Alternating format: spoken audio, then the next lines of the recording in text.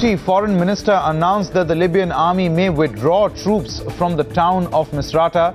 The minister added that troops were being withdrawn to subdue rebels in the area. Armed tribesmen will move in now to fight the rebels. The action came a day after US began flying armed drones to bolster NATO airstrikes in the area.